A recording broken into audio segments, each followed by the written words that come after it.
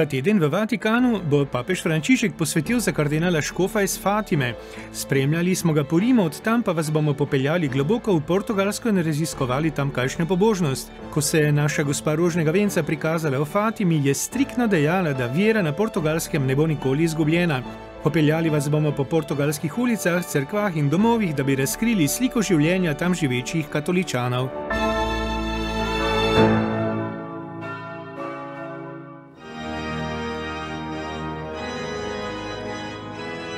28. junija je papež Frančišek za katoliško crkvo posvetil 14 novih kardinalov. Med njimi je bil tudi prvi kardinal iz župnije Fatima Leirija, Antonio do Santo Šmarto na portugalskem. In nomine Patris et Filii et Spiritus Sancti.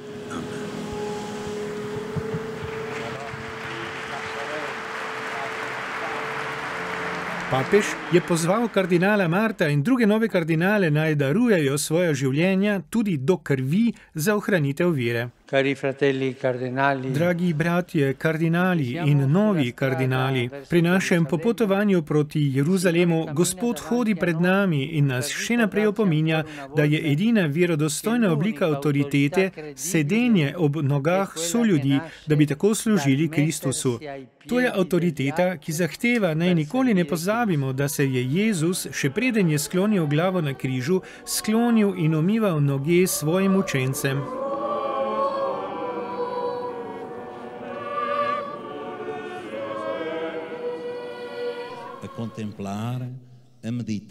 Na tem srečanju je škov župnije, kjer se je naša gospa večkrat prikazala pastirčkom leta 1917, postal eden izmed papeževih najbližjih sodelavcev in elektor v konklavi pri izboru papeževega naslednika.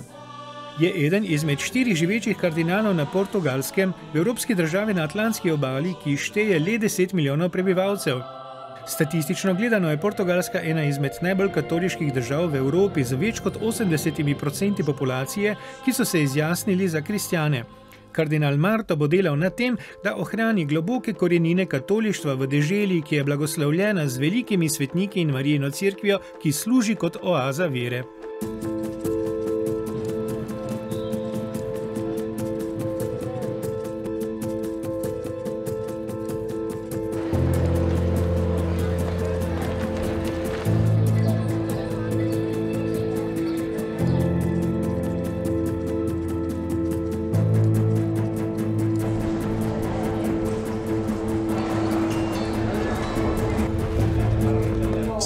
Che il Portogallo mh, ha una maggioranza cattolica di, di più dell'80%, però Vemo, da ima Portugalska večinsko katoliško prebivalstvo, ki jih šteje več kot 80 odstotkov, a se jih le manjšina redno udeležuje tedenskega bogoslužja. Kako dramatična je situacija na portugalskem iz vašega vidika?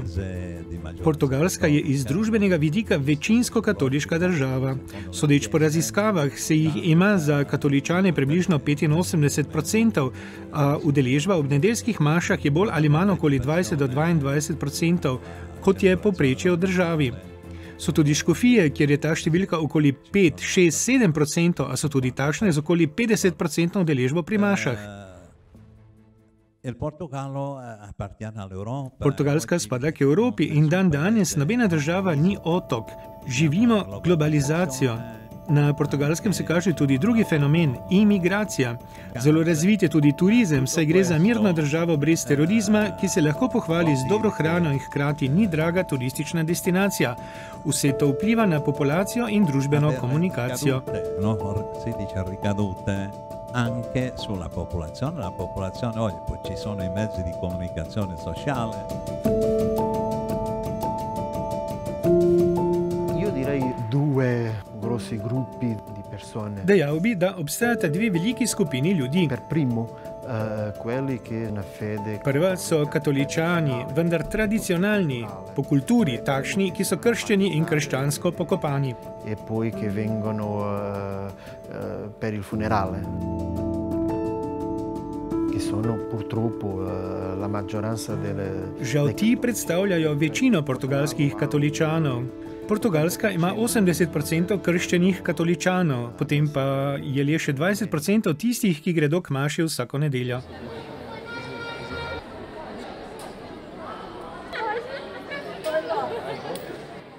Still today we have a great Christian roots. The major of the population in Portugal are Christian. Dan danes imamo še vedno močne krščanske korenine. Večina portugalskega prebivalstva je kristijanov, zato pa imamo na praznikih svetnikov veliko udeležbo in imamo tudi Fatimo, ki je čudovit primer. Vendar mladina ni več tako povezana s krščanstvom kot starejši prebivalci, torej naši starši in stari starši.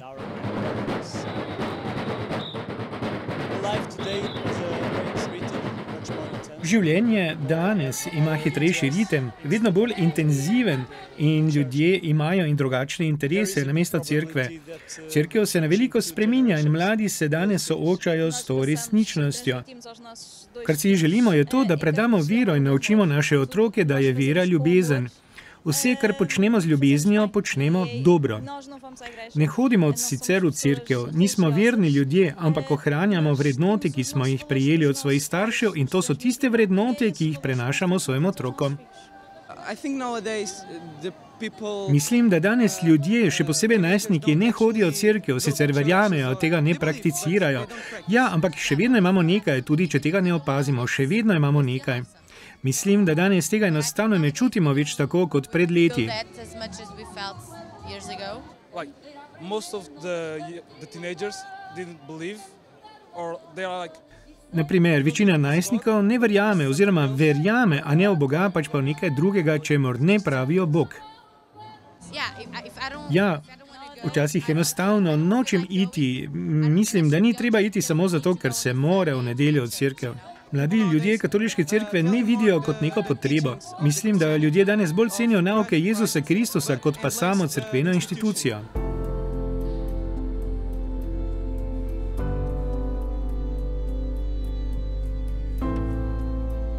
que en otros países, porque aunque los padres eh, les gusta mucho que las- los hijos hagan el bautizo, V drugih državah starši radi krstijo svoje otroke, a pri tem tudi ostane in potem ne hodijo več v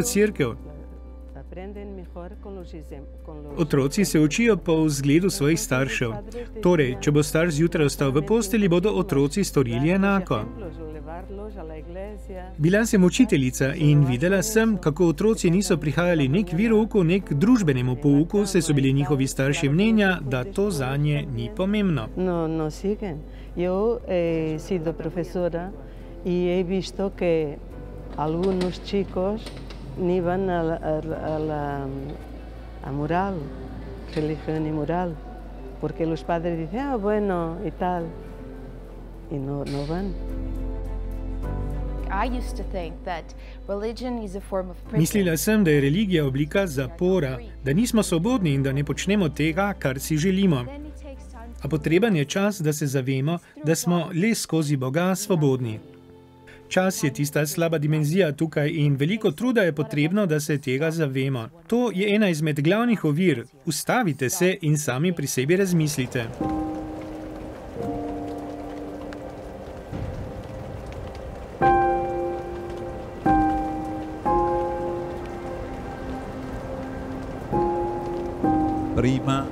Chiesa che faceva il ministero, il ministero eh, della parola. Včasih je bila cerkev tista, ki je izvajala besedno bogoslužje.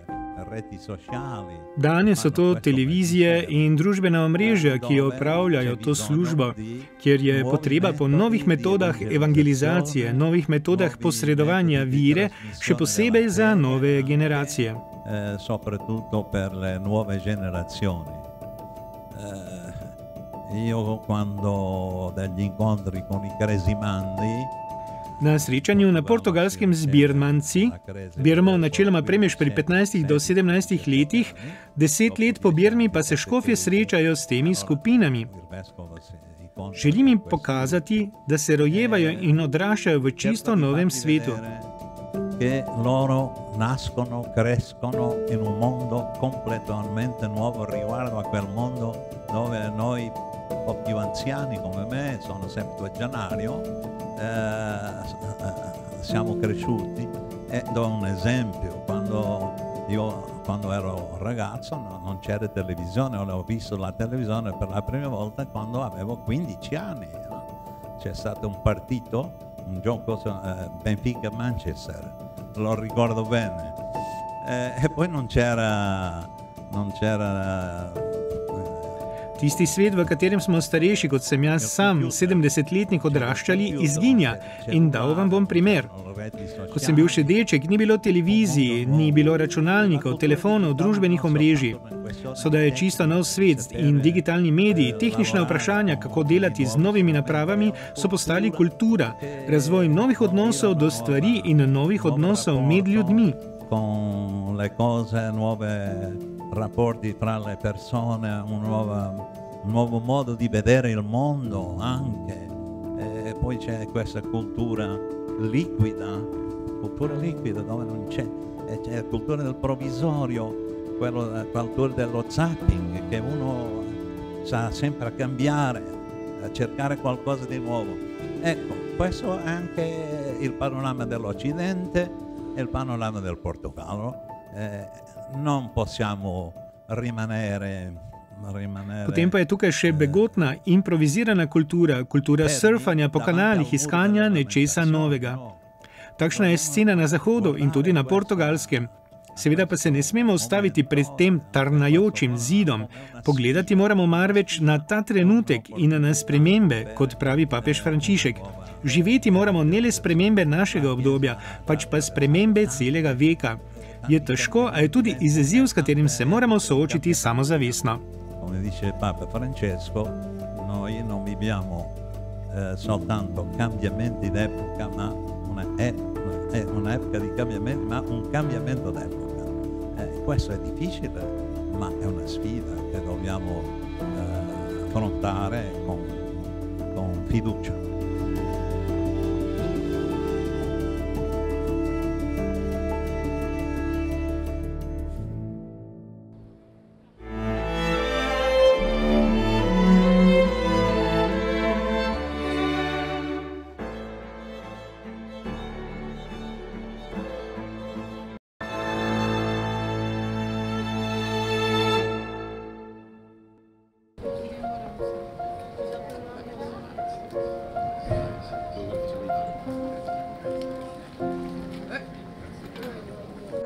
Há, seis anos que vimos todos os dias, dia 13 de junho, a Fátima. Že šest let prihajamo vsakega 13. junija v Fatimo, vse odkar se je rodila hčerka.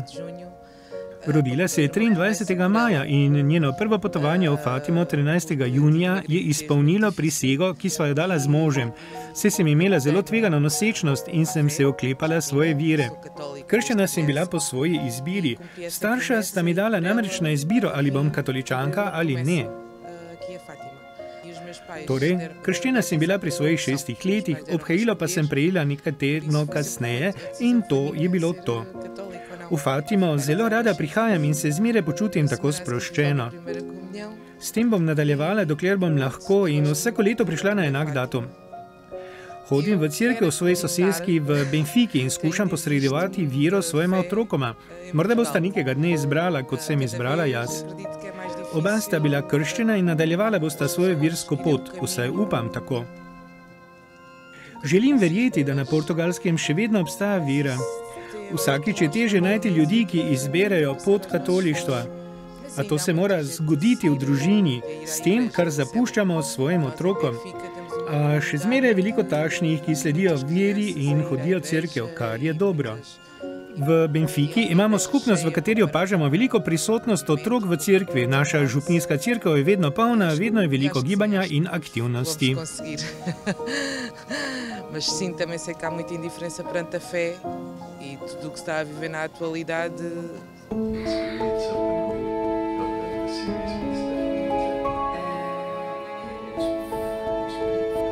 Por vezes eles não, não entendem o porquê.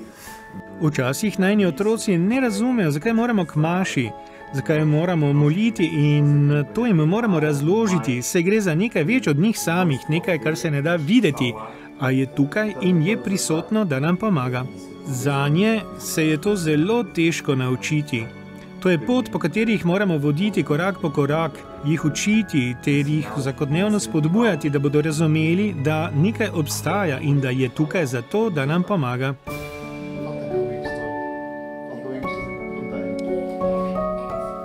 Nascemos numa terra de fé. E isso também é um, é um ponto a nosso favor. Rojna sva bila v deželi vire in to je v našo korist. Imamo zgodbo pastirčkov, ki so bili njune starosti, ko so videli devico, celo mlajši. Bili so tri priče prikazovanj naše gospe in angela.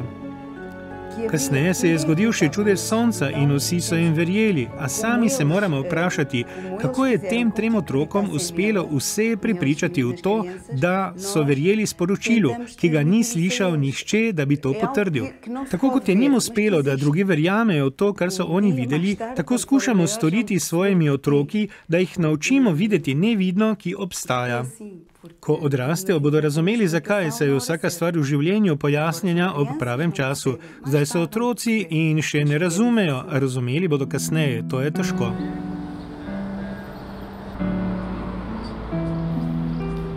Certamente haverá muitas razões. Vsako leto znova moramo proučiti, kako bomo znanjali evangelij, in to je ena od težav, ki jo moramo rešiti. Que a Igreja nos convida sempre a renovarmos. Druga težava pa je na strani mladih samih, ki se čutijo osiromašene, ker jim pozornost odvračajo razni vplivi današnjega sveta. Družbeni mediji sami po sebi niso ovira, a lahko postanejo ovira za moralno življenje, za naša osebna življenja. Zdi se nam, da so mladi iztrgani iz maternice in da jih vleče v stran od lastnih osebnosti. In potem je tu še ena težava. Kako naj duhovno življenje Franciska in Žasinte, svetega Franciska in svete Žasinte, mladi živijo danes? Preprosto. Postati morajo odprti, tako da živijo preprosto in ponižno, da prepoznavajo lastne omejitve, a da zmeraj znova potrjujejo, da smo lahko nekaj več, da smo lahko boljši. Cada um pode viver, pode acolher a graça do Senhor e que essa graça os pode transformar. É a lição dos pastorinhos. Vsak je lahko sprejeti in živi v božji milosti, in ta milost nas spremeni. To je nauk pastirčkov.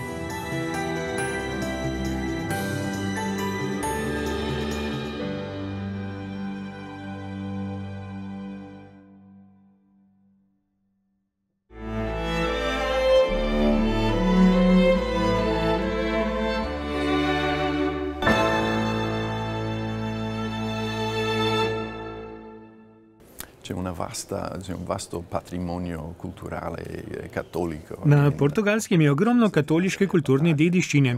Bili smo v Nazareju, Batalji in Fatimi in to smo tam videli. Vendar je veliko ljudi, ki zapuščajo svojo viro. Kako vi gledate na to izročilo v sedanjem času? Kako bi lahko te korenine vplivali na naslednje generacije na portugalskem? Sì, questo patrimonio segno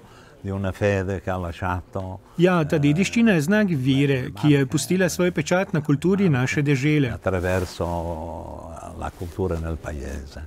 Paese. Ha funzionato anche come trasmissione della fede. V zgodovini se je vera prenašala skozi tradicijo, danes pa živimo v novem svetu, kjer se vera, ki se prenaša samo z izročilom, ne obdrži.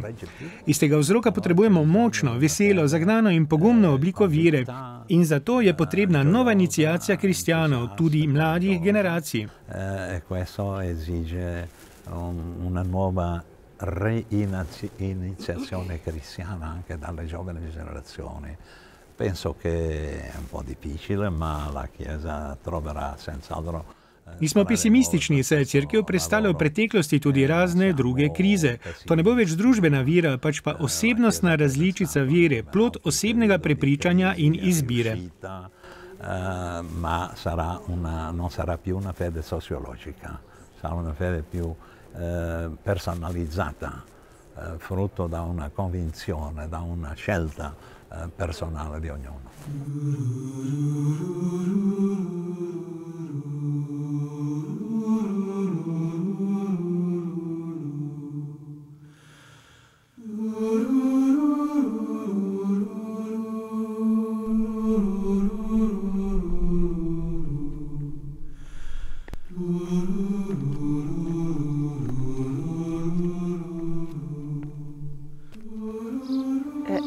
Different. It depends on ages. If we have the little children with three or four years, uh, when they are tired because we have the hill.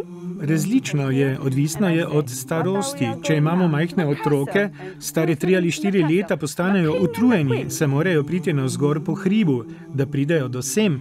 In jaz jim rečem, kam pa kam, do gradu. In kdo živi v gradu? Kralj in kraljica. In seveda se sprehodimo po notranjosti gradu in ko pridemo do zadnjih prostorov, kjer se nahaja kip svetega Nuna, seveda želijo vedeti, kdo to je. Morda so nekateri o njem že slišali doma ali v šoli in zgodba je zelo zanimiva, saj je bil sveti Nuno zelo pameten človek, na kar jim povem. Preden je umrl, je vse, kar je imel, podaril. How is possible?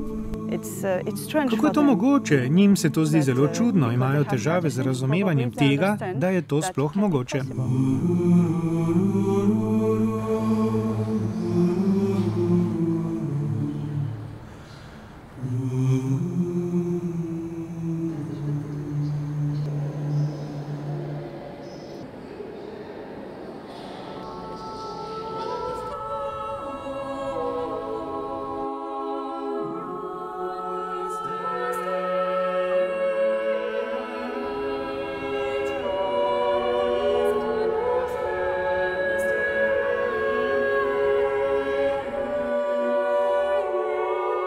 O povo português tem uma ligação fundamental ao seu património. Portugalci imajo temeljno vez svojo dediščino in nekako se mi zdi, da je ta spomenik nekaj, kar odraža našo identiteto, nekaj, kar sega v samo globino naše identitete.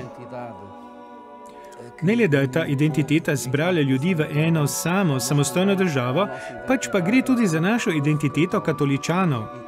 In to lahko vidimo v posvetilih, ki jih je kralj posvetil naši zmagoslavni gospe. Iz tega zgodovinskega konteksta je še dan danes samostan naše zmagoslavne gospe izjemno pomemben. Representa para nós é evidentemente hum, muito extraordinariamente importante uh, o Mosteiro de Santa Maria da Vitória.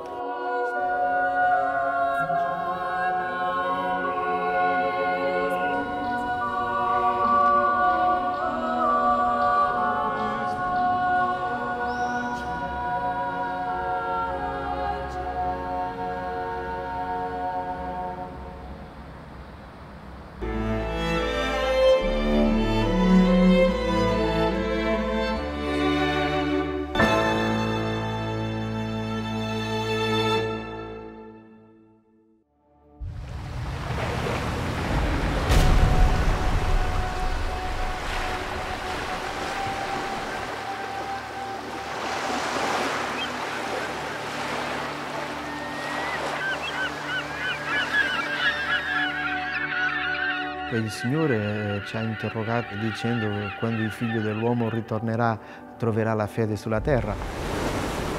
Gospod nas je v evangeliju vprašal, ko se sin človeka vrne, ali bo našel viro na zemlji.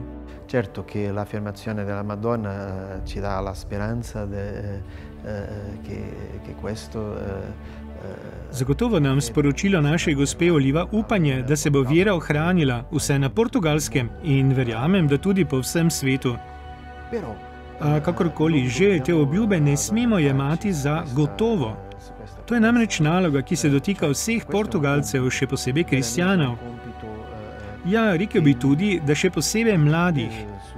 Veliko mladih sem srečal tukaj, še posebej v Lizboni, ki želijo živeti viro na vseh področjih, tudi na univerzi. Io direi soprattutto i giovani. Io ho trovato tanti giovani anche qua a Lisbona, soprattutto qua a Lisbona.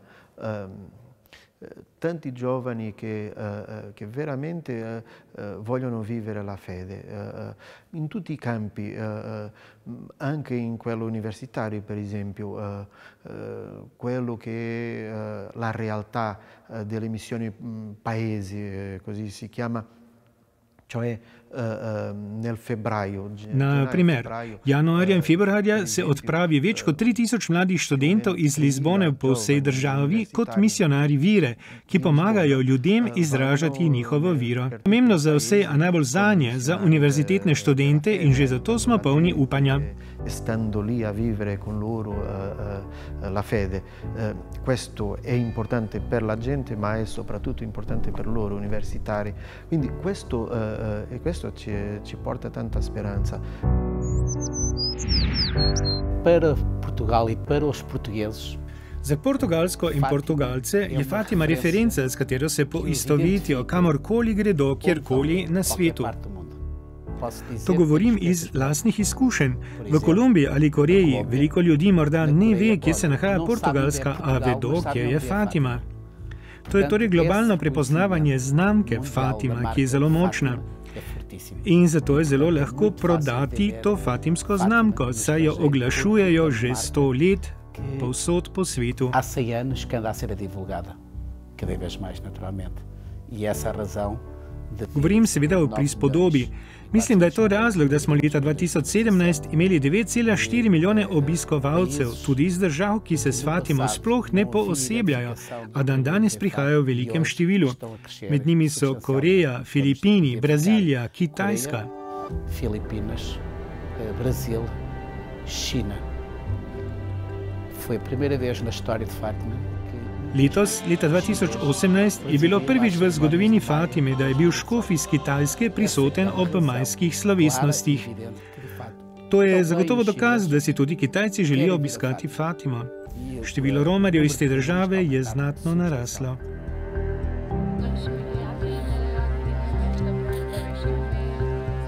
Este Letos smo imeli veliko več obiskovalcev iz Daljnega vzhoda, še posebej Kitajske iz Japonske, kar je seveda zelo spodbudno. Iz Fatime namreč izvira skrb za svet, za svetovni mir, za vse države, ki so upletene v vojne in konflikte.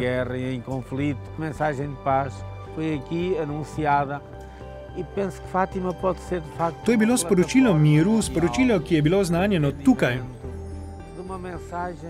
Pravzaprav se mi mnenja, da je Fatima lahko temelj za dialog in razumevanje sporočila, ko govori vsem o vseh mogočih poteh, kako doseči mir in te poti tečejo po milosti, odpuščanju, ljubezni in služenju drugim. To v zaključku pomeni, da vsebuje Fatima jedro evangelija, ki je spreobrnitev in sporočilo upanja.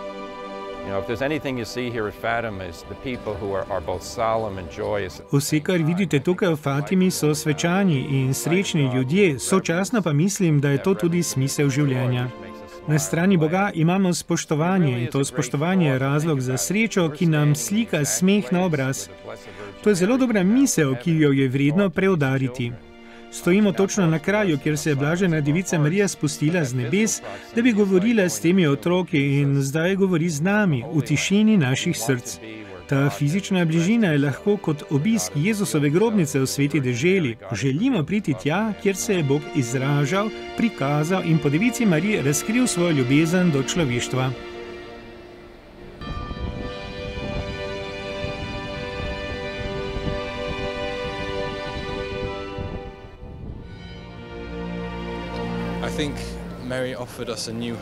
Mislim, da nam Marija ponuja novo upanje.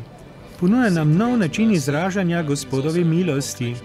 Mislim tudi, da obstaja pomembna povezava med Fatimo in Božjo milostjo, ki se je zgodila na Polskem, še posebej pa je to sporočilo upanja za vse svet, ne le za rimokatolike in druge kristijane, pač pa je sporočilo upanja za vse svet in tukaj mislim na pomen Portugalske. To je dobro vprašanje, a iz kakršnih koli razlogov je naša gospa rekla, da vera na Portugalskem ne bo nikoli umrla, če tudi vidimo v zadnjem stoletju upad vere po celotni Evropi, vendar upam, da je sporočilo Fatime svetilnik za Evropo.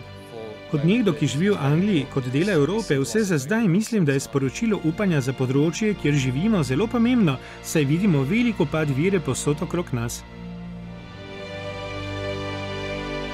Papež je fatimskega škofa posvetil za kardinala. To je kraj, ki je znan po vsem svetu zaradi svojih prikazovanj in sporočil. Kako papeževo imenovanje škofa iz Fatime za kardinala dokazuje njegove prioritete za svojo crkvo? Fare cardinale del, del vescovo di Fatima. Bene, era una buona domanda per fare Papa Francesco, perché soltanto lui sa. To so dobre vprašanja za papeža Frančiška, se lahko samo on pozna razloge, zakaj me je posvetil kot kardinala. Da un grande valore alla religiosità popolare. Papež Frančišek močno ceni ljudsko pobožnost. To je namreč izraz inkulturacije vere med preprostimi ljudmi. V Fatimi je verovanje zelo živahno, zelo vidno, saj ljudje ta duh živijo in slavijo, kot se dogaja naprimer tudi v Latinski Ameriki, kjer je bil papež navdušen nad živo silo evangelija v ljudskem verovanju.